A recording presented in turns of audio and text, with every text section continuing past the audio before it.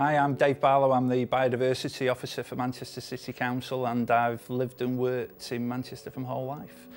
Born and raised in Clayton and I've never managed to escape. Not that I've ever wanted to because I absolutely love it here. Um, when I was a kid growing up, there wasn't really the emphasis on nature. Uh, it was all about playing football and just messing around on local canals. Uh, and great fun.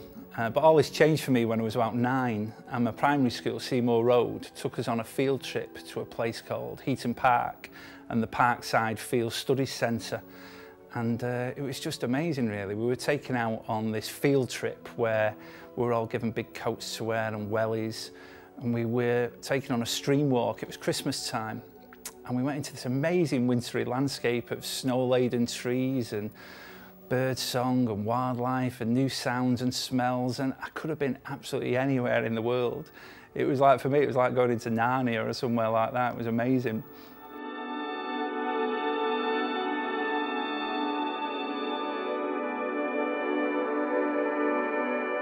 And that connection has just stayed with me really from that day to this. Um, it's just a fantastic place for wildlife. We've got some amazing parks and river valleys just waiting to be explored. And now I find myself doing it with, I've got a four-year-old daughter and, uh, you know, I've got her filling up bird feeders and putting the wellies on, putting her big coat on and going out into the local park doing it. So, uh, so the cycle's complete, really.